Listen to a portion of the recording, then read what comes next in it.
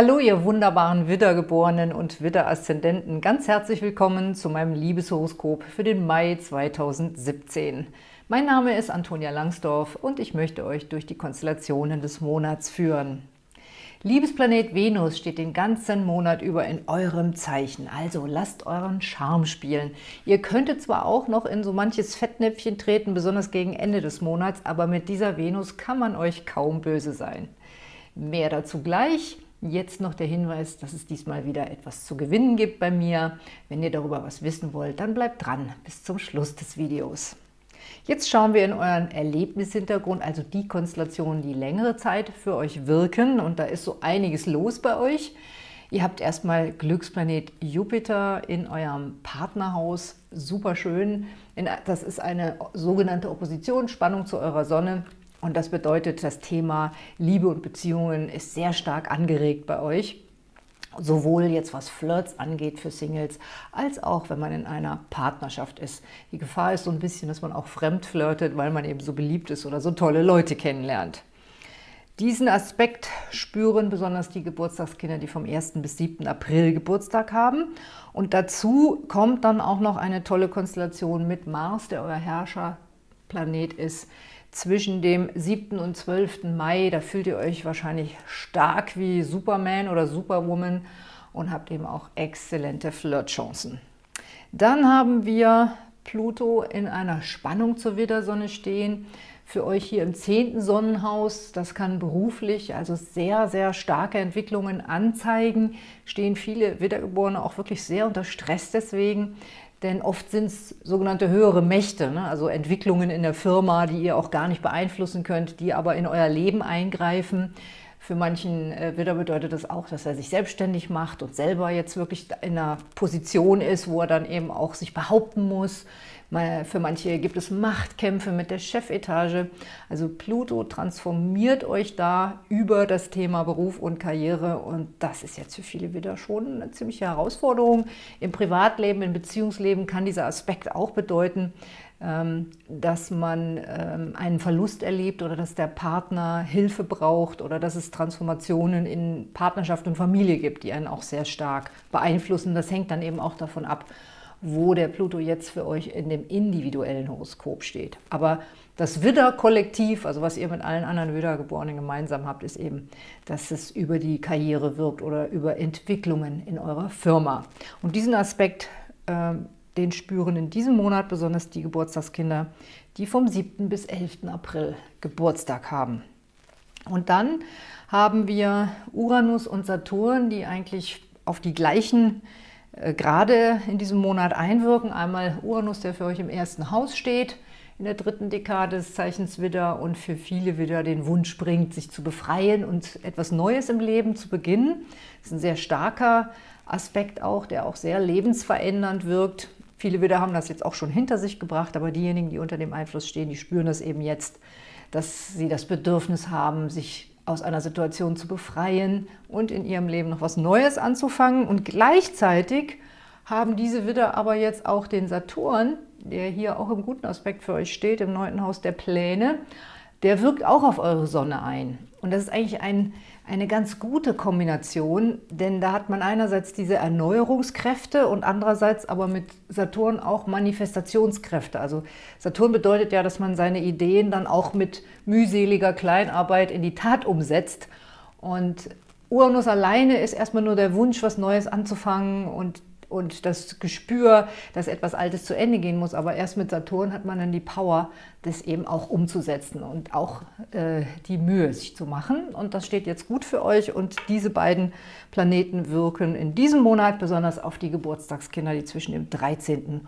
und 18. April Geburtstag haben. Und dazu kommt dann Ende des Monats vom 25. bis 29. Mai noch eine Spannung zum Mars der ja euer Herrscherzeichen ist. Das heißt, da können die Dinge sich nochmal verlangsamen oder ihr könnt da nochmal mit Widerständen zu tun bekommen, die sich aber lösen lassen und am Ende äh, wird, wird wahrscheinlich was Gutes dabei rauskommen. Aber darauf gehe ich gleich noch ein. Jetzt schauen wir uns die aktuellen Konstellationen an in diesem Monat, beginnend mit dem Neumond vom 26. April.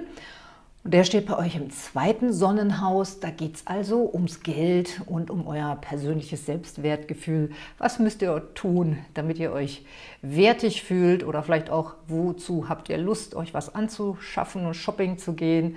Vielleicht auch schöne neue Klamotten jetzt im Frühling. Diese Themen sind da angesprochen mit diesem Neumond. Denkt mal über eure Situation nach, was die Finanzen angeht, aber auch eben, was euer persönliches Selbstwertgefühl angeht.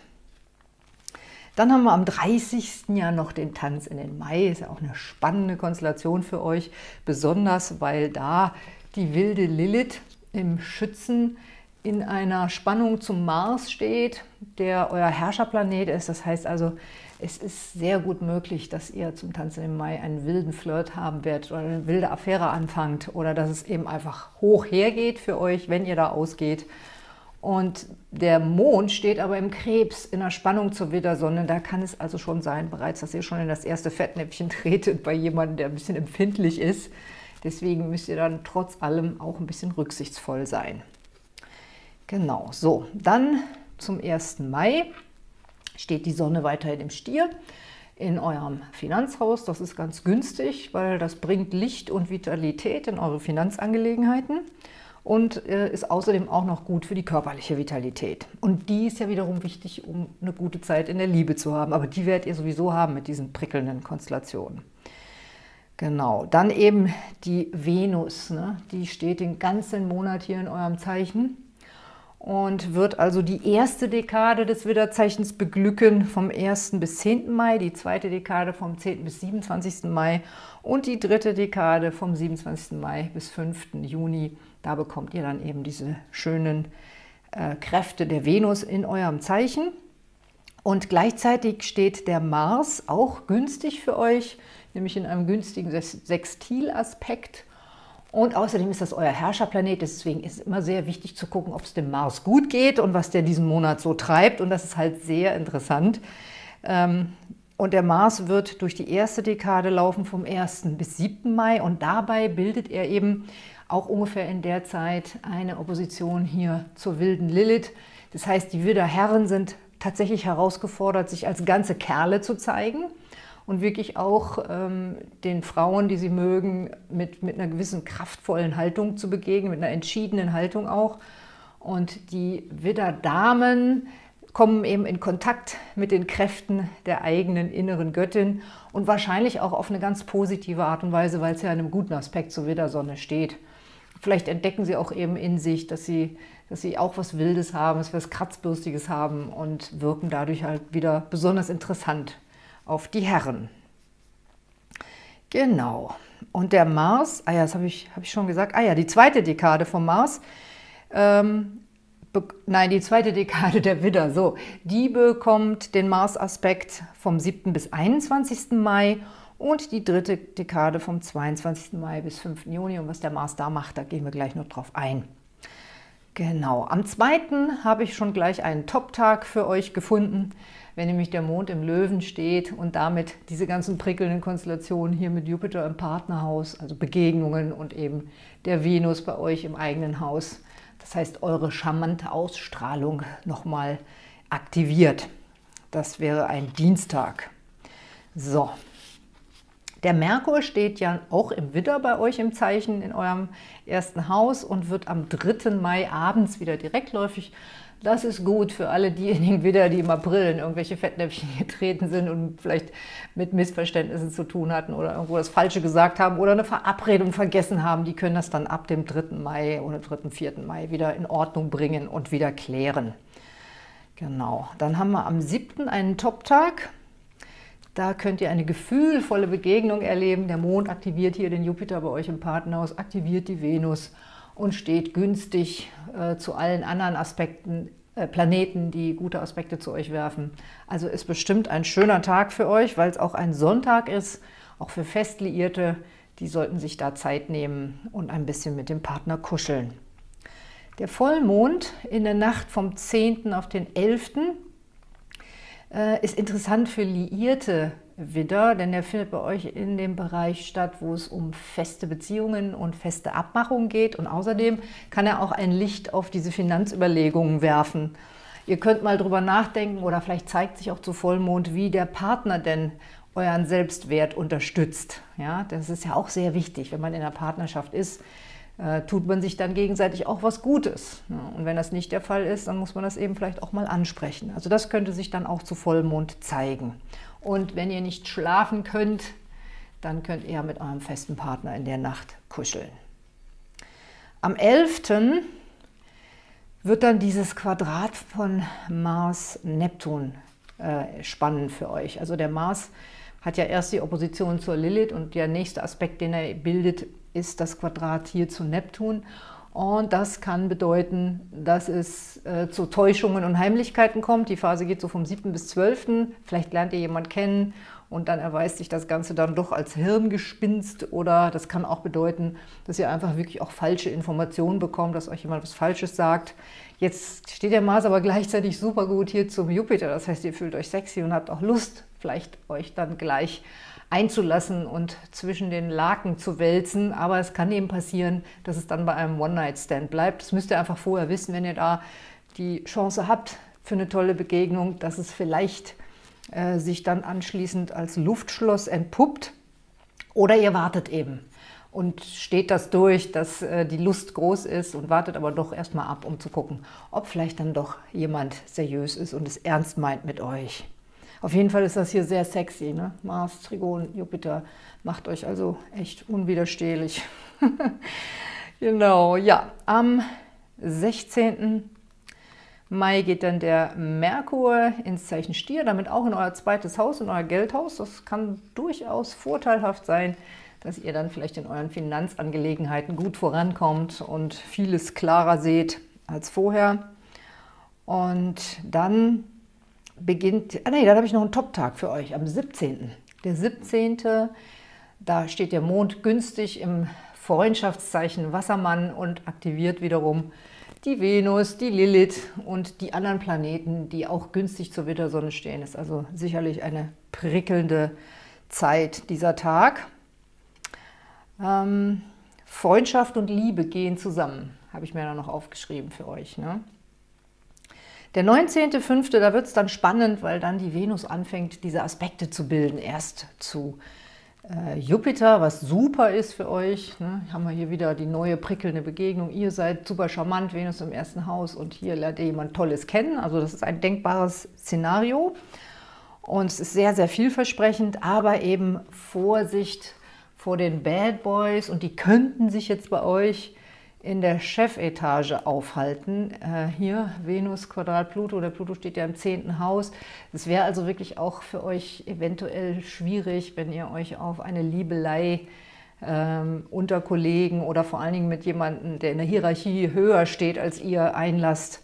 Ne? Oder ihr seid vielleicht selber der Chef und lasst euch ein auf, auf jemanden, der für euch arbeitet. Das sind alles so Sachen, die könnten heikel sein müssen aber nicht, weil zum Schluss haben wir ja so ein bisschen so eine Happy End Konstellation, aber ihr müsst da ein bisschen aufpassen, also nicht so unbedacht da so reinstolpern, sondern schon die Antennen ausfahren und ein bisschen auch reinspüren, ob das funktionieren kann. Ne? Also, da passt da bitte ein bisschen auf.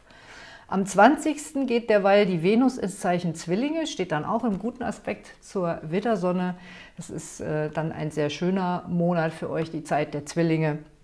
Da habt ihr dann die Sonne und Mars hier im guten Aspekt zu euch stehen und das dürfte euch äh, eine gute Vitalität geben und ein reges Interesse am Austausch und eben auch die Möglichkeit, viele Leute zu treffen. Das ist sehr, sehr schön. Am 25. ist dann der nächste Neumond und da könnte bei euch das Thema sein, mal wieder Kontakt mit Geschwistern und äh, aufzunehmen oder mit den Nachbarn ins Gespräch zu kommen. Im dritten Haus haben wir so die Leute, die in der direkten Umgebung sich befinden, wo man dann auch wieder interessante Flirts anfangen kann. Und ähm, deswegen solltet ihr darüber mal nachdenken, wie ihr das vielleicht in den nächsten Wochen gestalten wollt. Oder man kann ja auch mal so ein kleines Gartenfest machen und die Nachbarn einladen. Solche Sachen sind da vielleicht interessant für euch. Dann haben wir am 26. Mai noch einen Top-Tag, da gesellt sich dann nämlich hier der Mond hier dazu, auch sehr schön und aktiviert genau diese Konstellation vom Neumond. Äh, ne, oder beziehungsweise der steht ja dann immer noch für euch im Zeichen Zwillinge. Und da ist ein gefühlvoller Austausch möglich oder eine gefühlvolle Aussprache. Dann haben wir am 29. noch eine Konstellation, wo ich euch nochmal warnen wollte, weil hier könnte es sein, wenn ihr hier zu hitzige Reden schwingt, Mars im dritten Haus kann auch heißen, dass man sehr temperamentvoll argumentiert oder vielleicht eben auch jemanden auf die Füße tritt, dann könnte das eventuell Pläne, die ihr gemacht habt, gefährden. Aber ich denke, insgesamt haben wir dann doch eine schöne Happy-End-Konstellation. Die Venus wird dann hier in eurem Zeichen in den Kontakt mit Uranus gehen, exakt am 3. Juni. Und das Ganze in einem großen Dreieck, wo eben auch Saturn als Planet der Dauer und auch euer Herrscherplanet Mars eingebunden ist. Und es wird dann wohl irgendwie vielleicht sich so anfühlen, dass dann so alles auf einmal zusammenpasst und Sinn ergibt. Ja? Und man hat dann auch gute Eingebungen und es ist übrigens auch eine gute Konstellation, um vielleicht im Internet jemanden zu daten.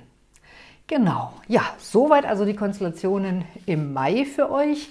Wenn ihr eine persönliche Beratung bei mir vielleicht mal buchen wollt, dann schaut doch einfach mal auf meiner Homepage vorbei. Da habe ich meinen ganzen Service für euch aufgeschrieben. Dann könnt ihr euch da umschauen, was es da so gibt und die Beratung eben auch gleich buchen. Und wenn ihr an der Verlosung teilnehmen wollt, dann könnt ihr diesmal wieder 15 Minuten Kurzberatung bei mir gewinnen zu einem Thema eurer Wahl. Dann postet mir doch bitte einen netten Kommentar hier auf meinem YouTube-Kanal und abonniert meinen Kanal, sofern noch nicht geschehen. Außerdem noch ein Hinweis, dass es bei mir ab dem 6. Mai wieder einen neuen Kurs gibt zum Thema Liebe und Beziehungen im Horoskop. Damit wünsche ich euch alles Gute mit den Sternen.